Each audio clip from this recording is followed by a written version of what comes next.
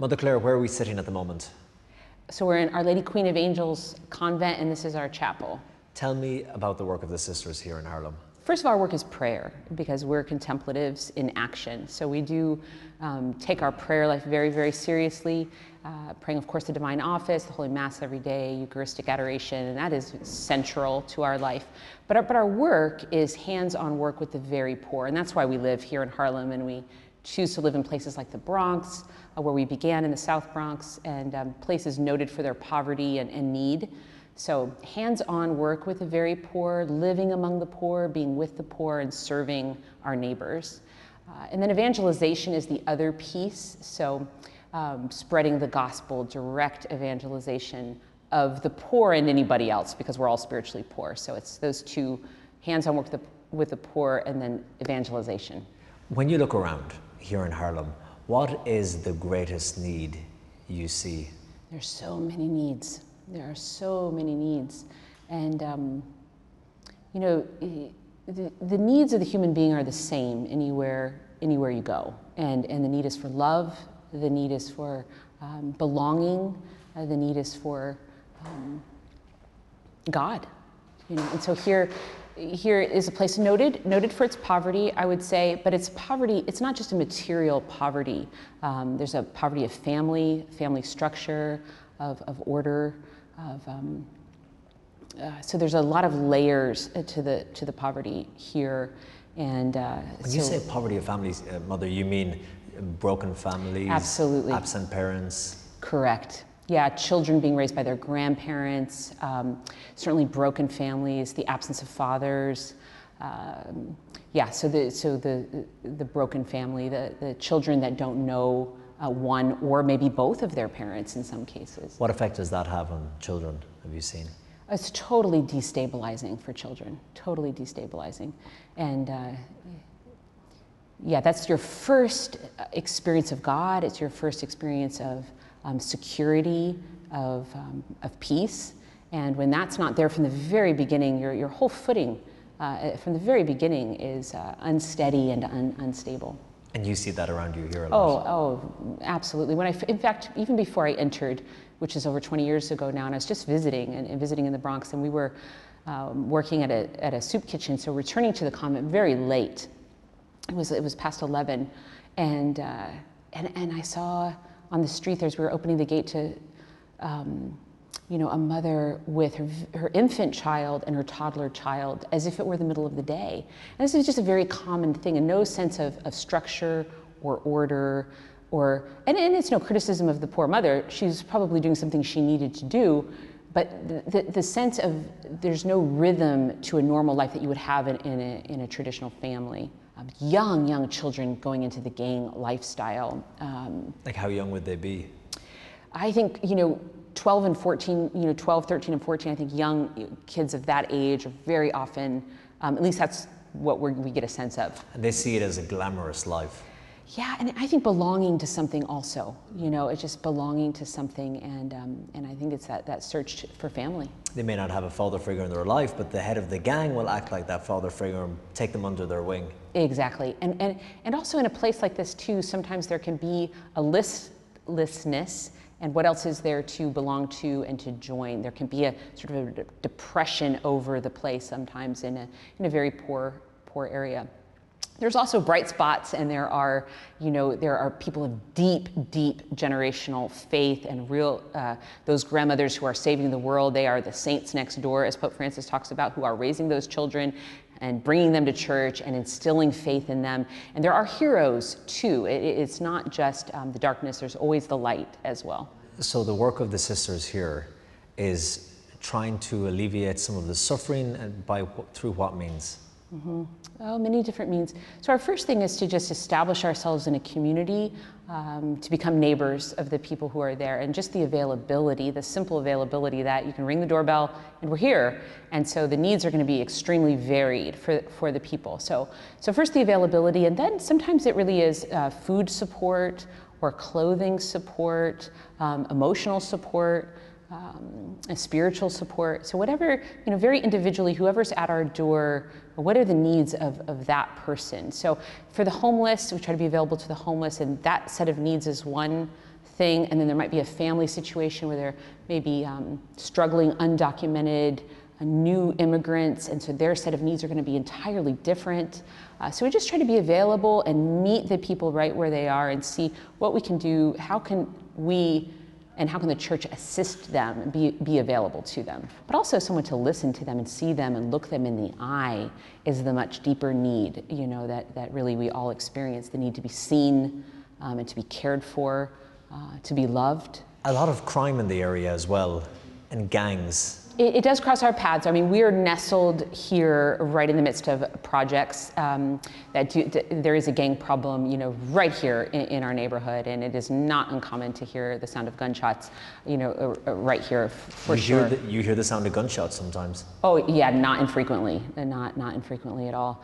Um, it's just part and parcel to living where we do. So we do see we do see that kind of crime uh, on a very regular basis, um, and we're trying to be an influence for the good and the wholesome and, and just to again that availability to the people um, and, and being present does change the climate of an area. And so we're just trying little by little by opening the doors of the church opening the doors of our convent um, making it a place where it's safe um, and it's good and it's wholesome and trying to increase the beauty of the neighborhood and the, the, just the goodness by what's available do the people here have a sense of God or faith? People do have a sense of God. They do, and they do have a sense of faith. And, and it's very, very interesting to experience, even as I travel in other parts of the world. You know, um, people here uh, do, they see us and they know that we represent God somehow.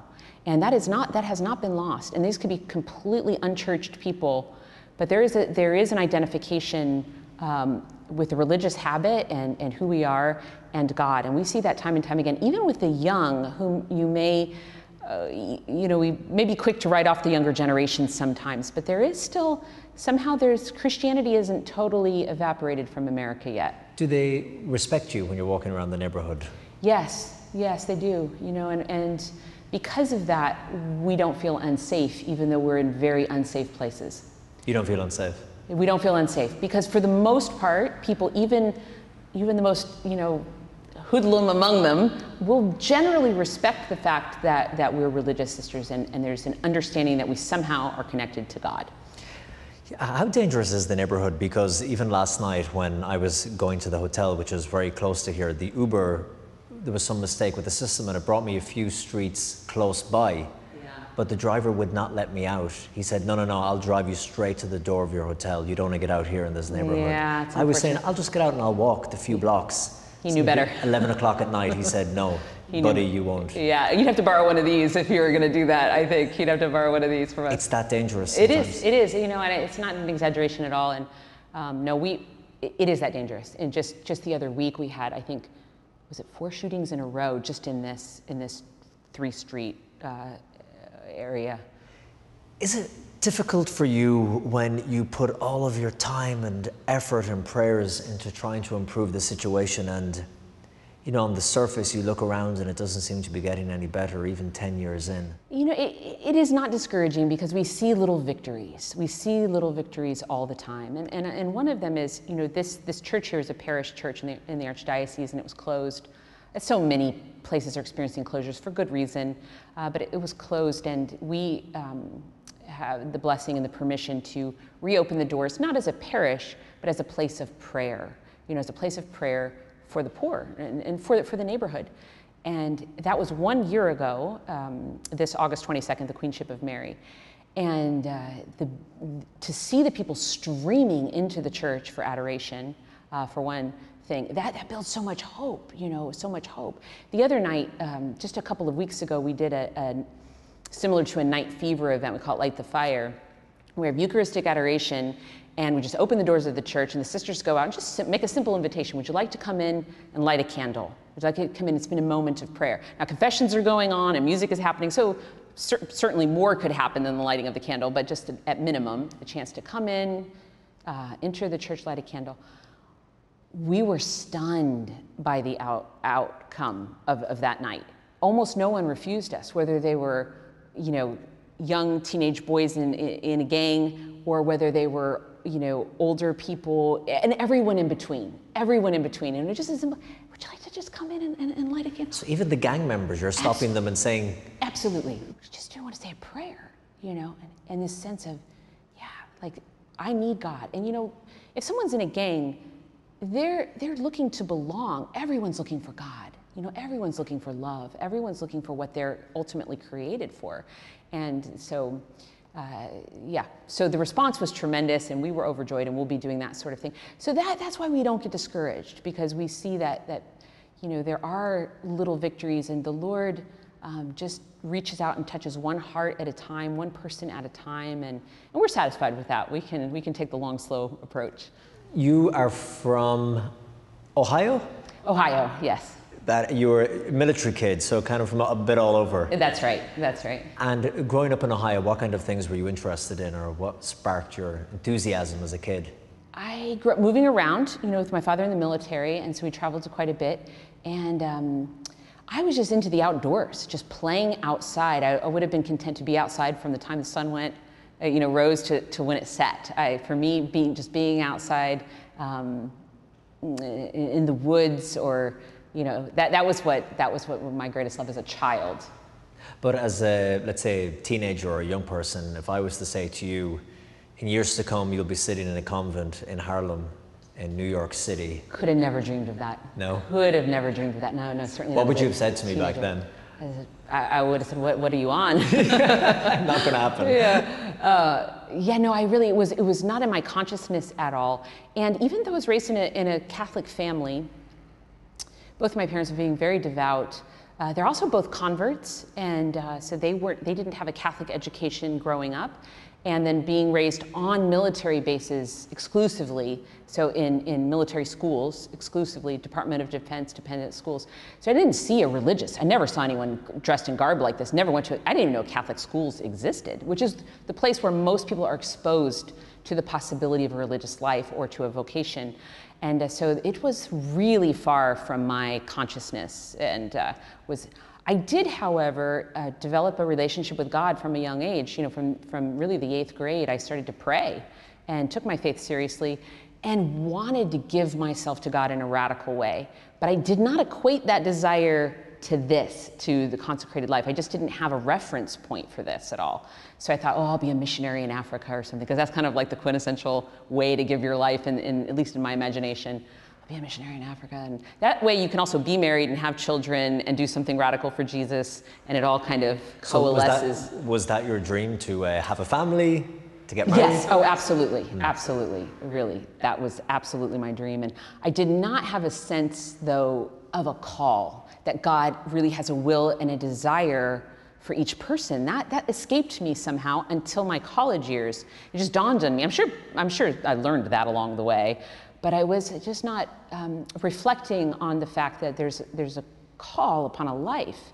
So I was going about my life like many young people do, trying to figure out what I was passionate about and what I really desired and wanted. And and what were you studying in college? So, well, I had a variety of things I studied in college, but biology uh, first of all, and then theology. But then I added on history, and then I went into catechetics as things evolved through the college years. Wow, so nice broad spectrum. A there. nice broad spectrum, yes, which is the result of not knowing yourself very well. you know, so biology, no theology, no catechism. Exactly, confusion, yeah. confusion, and, and and discernment can be a confusion. So.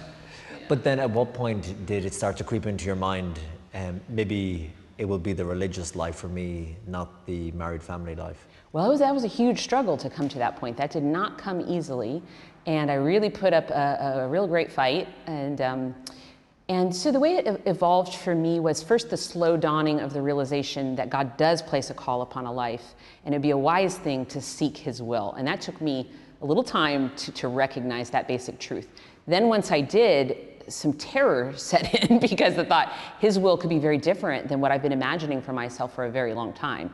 And if these two things don't match up, where does that leave me? And so finally, what happened just to, to advance the story a bit here. I did graduate. I was really in a, in a wrestling match with the Lord about the question of vocation and felt I was getting nowhere. And I was getting nowhere, so that was an accurate sense of things. Were you engaged or in a relationship or something? Uh, just ended a relationship, and, and in part, you know, as I was going through this, this struggle here about my vocation, Then, right after graduating, I did a cross country walk for life. And, and so, for me, walking across the country and having time to think and pray and process helped me uh, to really get in touch with, with what God might be asking of me and, and really to surrender. And, um, but really, I think the crux of it was turning to Our Lady. And when I turned to Our Lady, and, in, in some little moment of humility, to say, I really, I don't know what I'm doing, and I don't know how to, to go forward in my life. I don't know how to discern. People talk about discerning. I don't know how to, I don't know how to do this. And in a real moment of, um, of humbly uh, reaching out for help from, from our Blessed Mother. And, and I really, and I asked her at that point, just, just carry me to the will of the Father. And it all happened very quickly um, that at a, at a Mass, at the elevation of the Blessed Sacrament, I knew that the Lord was calling me to Himself. I made the phone call to this convent. I came here, I entered, and it was over. I mean, the sermon over. And that was 20 uh, some years ago now. Uh, how do you feel today? I have never been so happy, and I thank God that He's been so patient with me. And I think back on those years of struggle and I think, what a fool I was to resist him. What a fool I was. God is good. He's good. He's only good. He's always good, and his plan is good. But to re, and we know that, eh, you know, we know that in our minds, but to believe it in our hearts and then live from that place is an entirely different thing.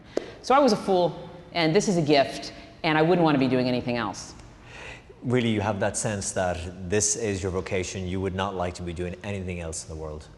Oh, yeah, there's no question. God's will is all there is. That's where happiness is, that's where peace is, that's where satisfaction is.